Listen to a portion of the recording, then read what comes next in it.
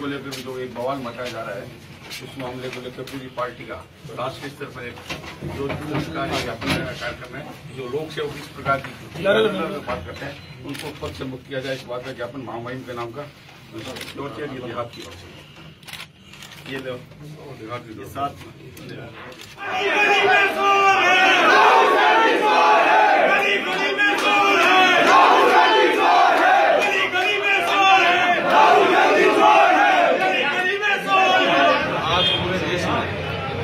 को लेकर supreme court का निर्णय आया इसमें नहीं है कोई नहीं है कोई नहीं है और कांग्रेस अध्यक्ष जो सांसद भी हैं इस प्रकार के झूठे आरोप बन कथित आरोप लगा करके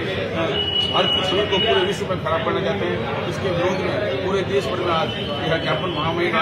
ज्ञापन किया गया है जिसमें मांग की गई है कि जो लोक सेवक है देश के साथ इस प्रकार का देश को बदनाम करने की जो सूचेष्टा करें